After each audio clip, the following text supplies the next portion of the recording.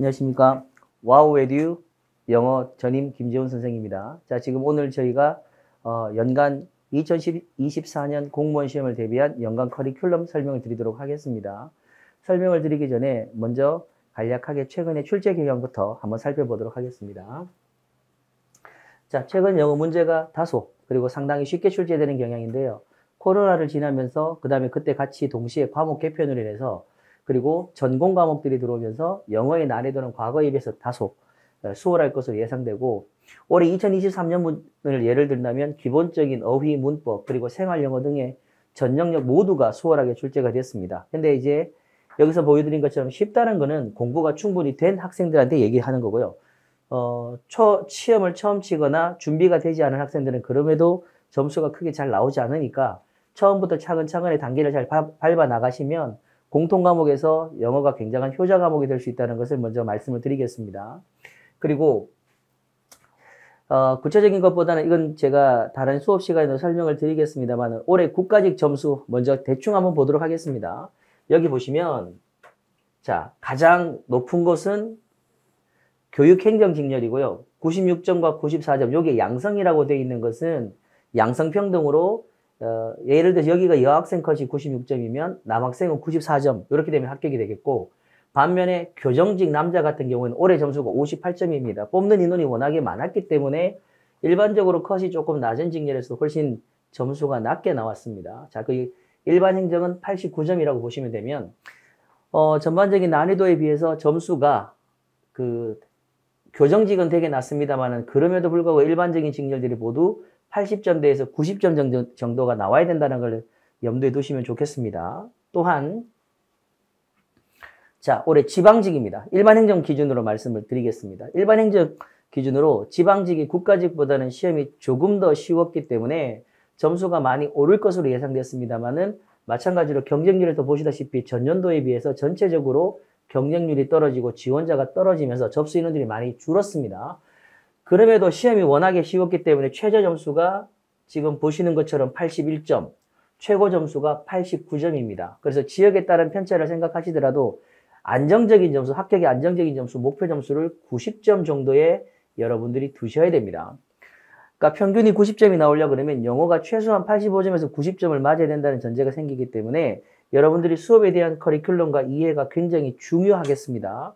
자, 그래서 자, 이건 이제 연간 커리큘럼인데요. 제가 화면도 어, 띄워드리고 7, 8월부터 내년 6월 지방직 시험까지를 전체를 크게 보여드린 거고 세부적인 사항을 설명을 드릴 테니까 지금부터 한번 참고해 주시면 좋겠습니다. 자, 여기 보시면 자, 일단 기본 심화, 올인원 기본 과정 모두 이제 2개월 과정입니다. 기본 수업과 심화가 병행이 돼 있고요.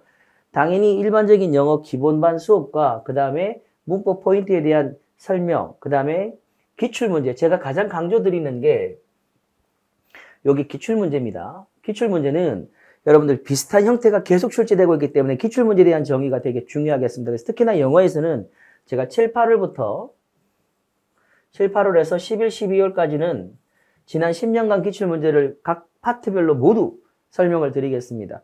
문제가 전부 다 다르고요. 그 다음에 여기다 플러스다, 플러스 이 기출문제를 변형한 문제를 그 다음 6개월 정도 준비하신다 보시면 되겠습니다. 이제 수업의 특징 중에 하나가 뭐냐면 해설지가 굉장히 상세합니다. 독해 같은 경우는 전 지문, 어, 지문에 대한 해석, 거기에 나온 단어, 거기다가 정답 설명까지 다 되어 있기 때문에 여러분들이 복습하시는데 굉장히 어, 좋을 거라 생각되고 여기서 보시는 시간 배분이 뭐냐면 어, 올해 시험이 좀 쉬워서 여러분들이 이제 어떻게 생각할지 모르겠지만 영어 시험은 항상 시간이 많이 걸립니다. 특히나 독해 파트가 시험이 시간이 굉장히 많이 잡아먹는 파트이기 때문에 매주 독해 10문제씩 두 번, 그러니까 월요일 날, 화요일 날 수업 모두 독해 10문제씩 17분에 17분, 뭐 15분 이렇게 조, 시간을 들여서 계속해서 문제를 푸는 연습을 하면서 실제 시험 현장에 들어가셔서도 본인 스스로가 속도 조절할 수 있는 그런 제가 수업을 준비를 하도록 하겠습니다. 자, 그리고요, 요게 기본 올인원 수업이고 제 가장 그 핵심적인 강의를 보신다면 오키도키 수업인데 오키도키는 이게 어휘랑 독해 수업입니다.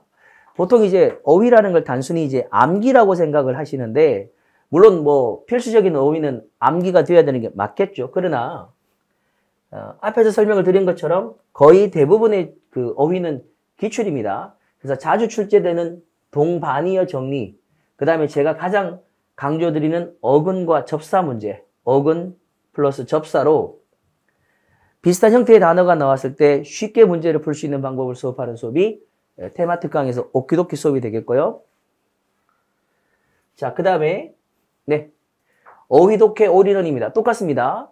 앞에서 말씀드린 것처럼 오키도키는 주로 기출문제 위주고요. 어휘독해 all-in-one은 여기 있죠? 기출문제 변형입니다. 생활영어 관용표현과 변형 문제, 기출 문제 안에서 변형 문제를 어, 드려서 기출 문제 학습이 끝나고 복습과 그 다음에 실전 적용 연습에 특화된 수업이라고 보시면 되겠습니다. 자, 이렇게 준비되어 있고요. 자, 그 다음에 문법이 당연히 문법도 여러분들 문법은 어, 수업 들을 때도 다 이해가 되고 문제를 풀 때 사실 잘 따라옵니다만 막상 실전에 들어가서 가장 실수를 많이 하기 때문에 일단 제일 중요한 거는 마찬가지로 기출 문제부터 먼저 정리가 돼야 되겠죠. 기출 문법에 포인트가 있습니다. 시험은 나오는 포인트가 정해져 있는데 영어 시험이 다른 시험과 다른 것은 우리말로 되어 있지 않고 영어로 되어 있기 때문에 항상 문장을 만날 때마다 새로운 문장을 어, 보는 것처럼 느껴서 순간적으로 포인트를 놓치는 경우가 많습니다. 그래서 기출부터 시작해서 이것도 7, 8월 때부터 시작을 합니다. 시작을 해서 일단 각 포인트에 대한 정확한 이해, 그 다음에 실전 문제를 그대로 변형합니다. 아예 문장이 다르기 때문에 학생들은 다른 문제로 느껴지시겠지만 포인트가 똑같다는 겁니다. 그리고 여기에 대한 예상 독해 문제까지. 독해는 제가 항상 매시간 넣습니다. 앞에서 말씀드렸다시피 시간 배분과 그 다음에 독해 푸는 요령을 스스로 습득하기 위해서 많은 독해 문제를 항상 새롭게 푸셔야 됩니다. 예, 그 수업을 준비를 했고요. 자, 포인트 연구법이 끝나고 나면 여러분들 링구와 A, 링구와 B 특강은 보이시죠? 전 영역 예상 문제입니다. 이제는 이게 두 가지 형태를 보여드리는데 동형 스타일로 보여드리기도 하고 파트별로도 제가 수업 이 매 달에 맞춰서 바꿔드리겠습니다. 여기 있죠? 어휘 보충 자료, 매 시간 테스트, 또 매시간 독해 보충 문제, 그 다음에 문법 어휘 독해 전 영역에 대한 예상 문제 풀이를 보통 1월 달에서 제가 한 5월 달 정도까지라고 보시면 돼요. 5, 6월 달까지 시험 직전까지 정말로 적용에 대한 문제를 제가 보여드리도록 하겠습니다. 요게 일단 요거는 올해 수업보다는 내년 24년 초에 한다고 보시면 되겠습니다. 자, 그 다음에 이제 네 문제풀이가 빠질 수 없죠. 자, 제가 문제풀이는 여기 보시는 것처럼 이제 요게 그 기출과 단원별 문제풀이인데 기출 문제풀이는 커리큘럼의 기출은 11월 달로 되어 있습니다. 기출은 11월, 12월이 기출이고 예, 어, 단원별 그 다음에 문제풀이는 1월 달에서 2월 달 이렇게 치는데 보통 여기는 기출과 단원별 연습이라 되어 있지만 저는 항상 실전 동형 문제가 들어간다는 거. 앞에서도 말씀을 드렸다시피 영어는 적응의 문제가 강하기 때문에 실제 시험과 거의 동일한 유형 그리고 동일한 길이까지 맞춰드리겠습니다. 이건 1월 제가 11월 때부터 시작을 해서 시험 치기 직전까지 여러분들이 어, 실제 시험을 적응하는데 아주 중요한 포인트들만 정리해서 필수 어휘와 독해 자료도 같이 제공하도록 하겠습니다. 자, 그 다음에 네 국가직 지방직 실전 모의고사 요거는 이제 3월 달부터 보통 시작이 되는데요. 국가직 실전 모의고사는 3월 달, 지방직 실전 모의고사는 보통 국가직이 끝난 4월 이후 5월 그리고 6월까지 시험이 만약 있다면 저희가 동형 모의고사입니다. 여기는 무조건 동형 2회입니다. 동형 2회고 동형 2회고요. 한 세트를 풀고 난 다음에 해설 강의가 끝나고 또 한 세트를 푸는 겁니다. 그래서 본인이 실수라든가 시간 배분에 대한 어떤 연, 생각을 하고 그 다음 세트를 풀기 때문에 시험을 위해서는 가장 중요한 포인트가 되겠습니다. 자, 중요 이론 출제 경향 파악도 있겠지만 이때는 제가 시험 직전에는 최근 3년 동안 있었던 국가직 지방직 문제와 번호 순서 길이까지 통일해서 문제를 만들어 드리겠습니다. 마치 우리 학원에서 푼 것처럼 시험장 볼 수 있게 제가 준비를 했고요. 자, 혼합형 실전 적용 훈련입니다. 그 다음에 모의 예상 문제. 거의 여러분들 이 안에서 시험과 거의 유사한 문제도 나온다는 거. 올해 시험에서도 저희가 다뤘던 독해 지문이 똑같은 그 소재가 똑같은 지문도 나오는 경우가 있기 때문에 계속 문제를 풀이 되게 중요합니다. 제한 시간 제가 25분을 드립니다. 원래 시험은 20분인데 플러스 5분 정도 연습하는 시간. 그 다음에 모든 문제 해설 강의를 해설 강의를 제가 굉장히 상세하게 하고요. 그 다음에 자 다시 정리할 수 있도록 답지 제가 항상 말씀드린 해설지는 굉장히 상세하게 나갑니다. 이런 식으로 준비를 하면 문제풀이 과정이 모두 끝나게 되겠습니다.